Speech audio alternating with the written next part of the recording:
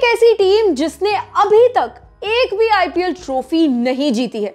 I think सब gas कर सकते हैं।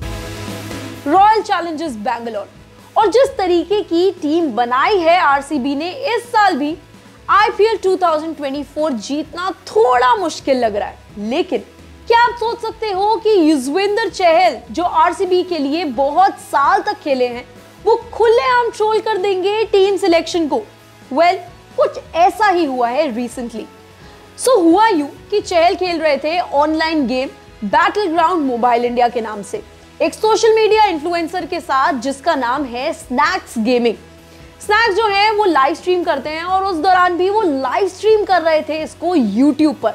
जब उन्होंने चहल से पूछा कि इस बार की आरसीबी बोलिंग लाइनअप देखकर आपका कुछ कहना है तो रिस्पॉन्स में चहल ने ट्रोल करते हुए बस इतना बोला मोए मोए। अगर आप जेंजी हो तो बिल्कुल आप जानते होंगे कि मोए मोए का मतलब क्या है। वेल well, आइए अभी आपको सुनाते हैं कि क्या बोले exactly exactly Yuzvendra Chahal. But Yuzi भाई इस बार की आरसीबी की बॉलिंग की लाइनअप देख के आपका कुछ कहना? मोए मोए। मोए मोए मोए मोए।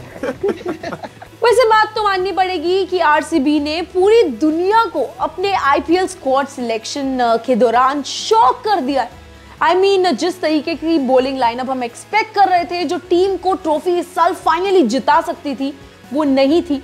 लेकिन अगर आप आरसीबी के फ़ैन हो तो हमें कमेंट सेक्शन में ज़रूर बताओ कि क्या आरसीबी इस साल आईपीएल 2024 जीत सकती है या फिर इस साल भी उनका मोए मोए हो जाएगा।